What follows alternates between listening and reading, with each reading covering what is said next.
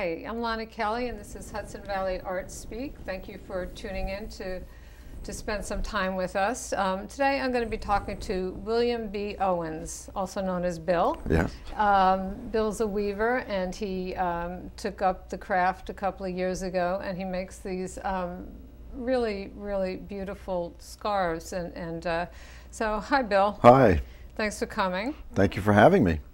So, how did you get started weaving?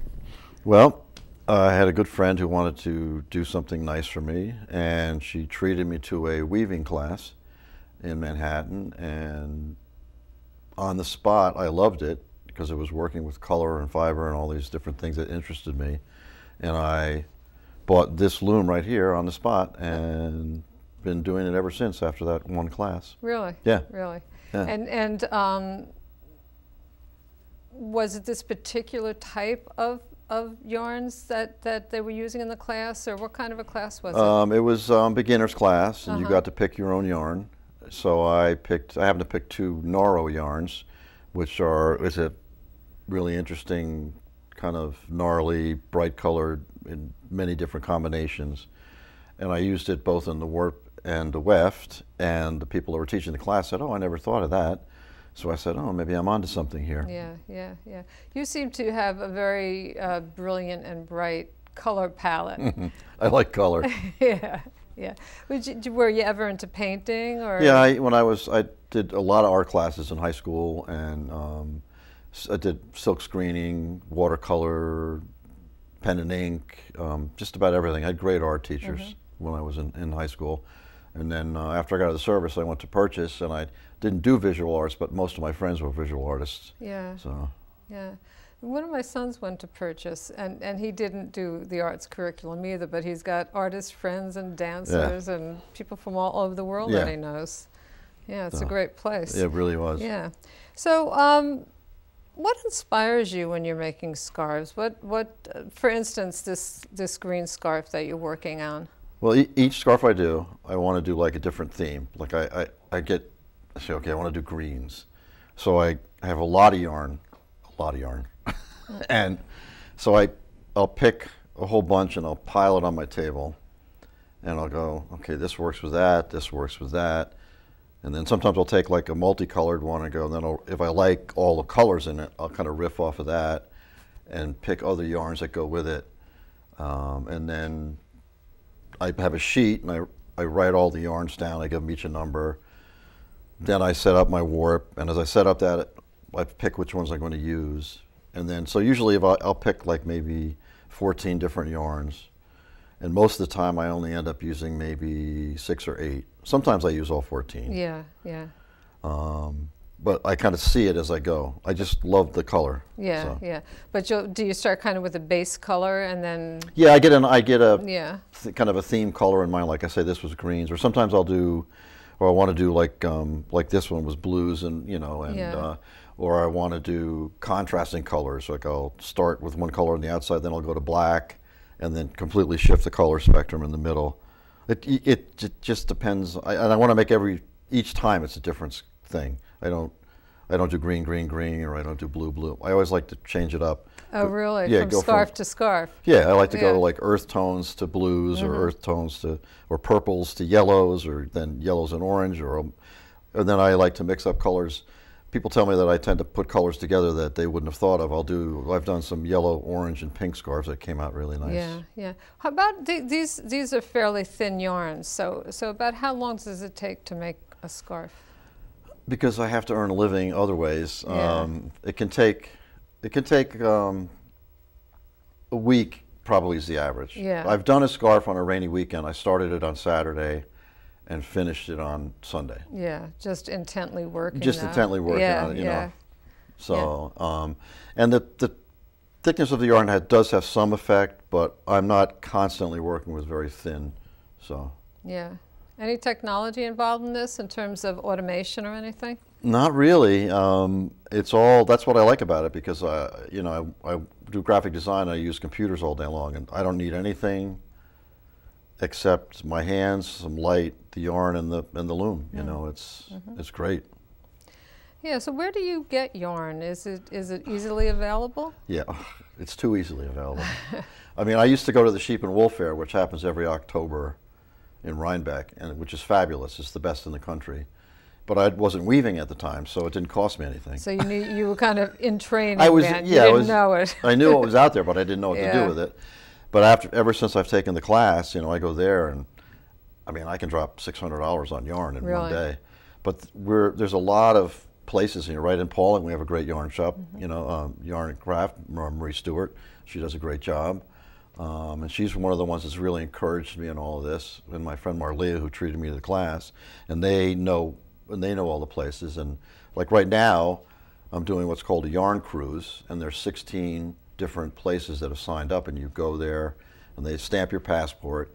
And I tend to buy at each of those, and they're all different. They're great. Really? Yeah, I mean, there's a there's a yarn shop in Middletown, American Needle, which was formerly an upholstery shop, and Jim, the owner, is just a really neat guy, and he still has some of the old furniture there, so he uses it to stage the yarn. Like he has an old um, box spring, Uh-huh. and he turns it on end, and he uses the, the springs for places to Oh. put the yarn. Oh, that's and, great. And he's got these old ornate furniture, and it's just fabulous. Yeah. You know, and, and then you go to a place like in Cornwall. uh, There's a there's a great place that it's a, just a a house, and every room is just stuffed with yarn everywhere. Uh-huh. It's like amazing. Really? Yeah. Really. And and what happens? Do you try to get? You said you're on a yarn cruise, so so do you have to do it all in two days, or is it? No, it starts now and it ends in September, Uh-huh. and it's kind of like a challenge. And if you go to all the places, then you get a chance to win a prize at the end. And there's an Okay. actual cruise at the end on on the Hudson, which is Oh, nice. oh, really? Yeah. Yeah. So that's fun. Yeah. And you meet the other thing is I just like the people in the fiber world. Everyone's just really nice. I mean, Mm-hmm. that's part of why I started going to the sheep and wool fair. It's just all the people that disappeared from the '60s. That's where they are. They're all raising sheep, huh? yeah. Um, this is not a large loom, is it? Um, and I'm just wondering, it, do you find that that limits you, or that it it, it I find it, I you. like to. It's a it's a single heddle, uh, rigid heddle loom. It's ten inches wide, which means I'm limited by those dimensions. This is a, a variable heddle on here, so I can change the the reeds to different counts. Uh-huh. But that's the extent of what I can do with that. But I like the challenge of having to work in a tight framework and then make it work creatively, which is why I use so many different yarns of different types of fiber, different colors, different textures. I even use ribbons. Some of these back here have ribbons in them. Um, you know, I mix it all up. That was the when I first started. That's what I had to learn. I was doing crazy stuff when I first started. People were going, "That's nice," but you know, and then I kind of figured it out. I have to get you know to get the drape and to get the everything together, Oh, and that's yeah. yeah. I mean, so um, it was fun working with really fat stuff, but it wasn't always as effective as it could have been. Right. And, and that's one of the tricks to this too. The hard part is you want to set the tension up on what's called the warp, uh, which is the long part that runs up and down the Yeah. scarves. Um, this is here, and then, but when you use different materials and different fibers, there's different. As you're tensioning it on the spindle, you're you have to make sure you keep the as much of an even tension as you can. Yeah. So I've learned kind of do that. And I mean, like like I said, I made mistakes when I first started. I put mohair. I didn't know a lot about this stuff, so I Right, was bringing my yeah. own. And after about going 12 inches, I couldn't turn the ratchet anymore. And I looked around, and there was a tribble living behind the heddle because the mohair had just, which is why yarn works the way it does. It has a natural tooth to it. It had collected itself as it was going through the reeds, yeah. and I had to cut it off the loom. Yeah. But lesson learned. Yeah, yeah, yeah. It, th- those those little fibers on mohair kind of knot up. Yes. Even if you're knitting with it, or Yeah. you know. Um, so, is there you you mentioned you really like the people? Is there a community of weavers that? There are different groups, like there's a Weavers group in Red Hook. They do some interesting things. I've only seen them at events. I haven't had time to go because they make kind of late for me to get up there and get back. But that's Yeah. something I'm a goal of mine is to get there and, and kind of get together with them. Um, they do fun stuff at the different events. Um, they have a, a, a, weave off where they bring a, a spinner comes in, spins the yarn from the roving, then he has to put set up the set up the loom and weave a scarf in a s- certain period of time, which is just nuts. I Yeah, mean, yeah. it takes me a week. Yeah. um, is, is it doable though? Yeah, they do it. They get it done. I mean, it's not nothing fancy. It's pretty much Yeah. down and dirty, get it done. But yeah, it's pretty neat. Yeah. One thing I found that was interesting, we were looking at the scarves behind us, and I, I had asked you, you know, where you get in, your inspiration, and you said it could come from anywhere. And I just was looking at that, that black and gold scarf, and, and where did you say that you got that Oh, I was from? watching um, a TV show. Um, um, Bloodlines, you said. no, yeah, Blue Bloods. Blue Bloods. and they do these great night city shots and the sparkling lights against the black stark background and stuff so i look at that and i see patterns in that and colors or like uh, my i call myself caterpillar scarves so i look at caterpillars and i Uh-huh. get uh, you know because they have they can have like striking Yeah. you know color combinations so yeah. i you know i look anywhere for inspiration Uh-huh, like that uh-huh. and i did i did a couple of van gogh scarves that i've done um, What are they? well, there's one called the Red Vineyard, which is really rich. It's, it's, it's a vineyard scene with people working in the vineyards against the shoreline. And it's got blues and rich, you know, reds and oranges and ochres. And so I, I, I used all those colors in two different scarves in different combinations. And then there's, there's a, a Van Gogh painting called The Bedroom, which has this great window, which is yellows and greens.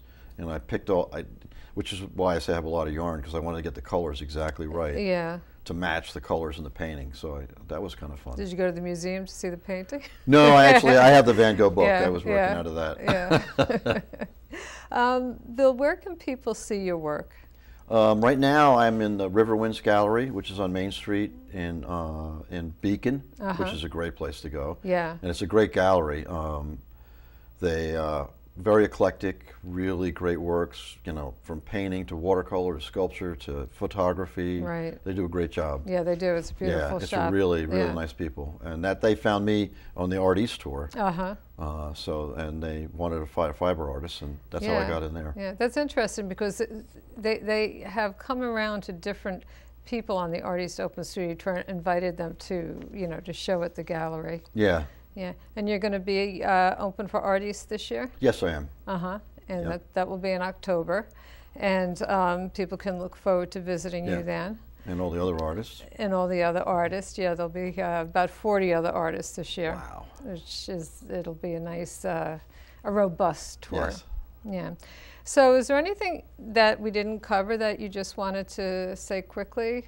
Of, or um, Um, you mentioned that you do websites so people can, um, yeah, my, my, my website, caterpillarscarves.com, ca- caterpillar with a K, scars with a K. Um, and, you know, and just, I'm really grateful to the, to my friends in this, the Marlia that got me into this, um, Marie who supported me, you know, Artie, Yeah, has been great, yeah. you know, um, I just, um, it's, that's part of what I like about it is the community. I mean, Mm-hmm. I love doing it, you know, but it's, yeah, It's but it's one of those. It's the kind of art form that involves people. You have to wear it, so it's right, it's- right. It's uh, and that's that's what's exciting to me. I mean, I really came to me when I saw when I'd done about half a dozen or more. Then I said, and I saw them all in one place. I was like, wow, you know, this is a real thing. It's Yeah. like it still amazes me that I start with this pile of stuff and then a scarf comes out and then the it end. becomes a scarf. Yeah. yeah, yeah. Well, they're beautiful. Thanks for bringing Thank them you. tonight. So thanks for coming. Thank It you. was good to talk to you.